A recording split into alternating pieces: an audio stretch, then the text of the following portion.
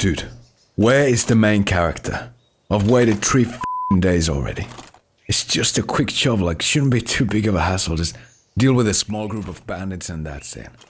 Easy XP, sell all that stuff to a blacksmith, unlock an area, all that good stuff, and just. What a lazy bastard. Well.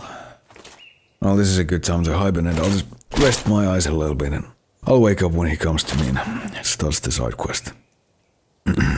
Good night.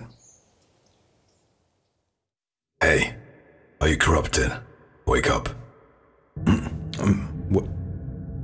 What? What? You've been sleeping for years. I don't know how many. I figured it's right to give you a choice. what? The main character stopped playing the game years ago. I waked you so you can decide what to do. No, no, they'll, they'll reinstall the game at some point. The save file is gone. This world is adrift. No one is coming. No one is coming back ever again. The endless times have begun. But wh- why? You decide what to do.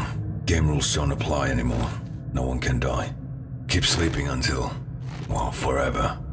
Or you can wander. A lot of us wander. Farewell.